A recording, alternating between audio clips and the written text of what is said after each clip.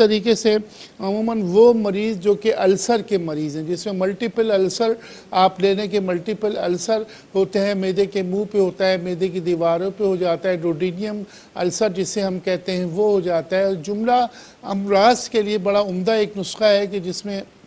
40 दिन तक आप जो है दो केले और एक पाव दही आप उसको बाकायदा इसका शेक बना लीजिए, दही का शेक बनेगा स्मूथी बन जाएगी, ये बनाना स्मूथी कहलाएगी, और इसे आप रोज़ाना नाश्ते का हिस्सा बना लें, ना कि उसको नहार मुँह खाएँ, बल्कि ये आपका नाश्ते का हिस्सा होगा कि आप जो है नाश्ते में दो केले और दही का शेक पियेंगे, इसमें हसब ज़ायक़ा जो है वो शुगर भी डाली जा सकती है, और इसका बेहतर तरीका ये है कि इसमें सफ़ेद चीनी का बजाय जो है गुड़ की चीनी या गुड़ का इस्तेमाल किया जाए तो ज़्यादा फ़ायदा होगा। इसमें वो अफराद जो कि पुराने अल्सर के पेशेंट हैं, वो अफराद जो तेज़ाबियत के पेशेंट हैं, वो इस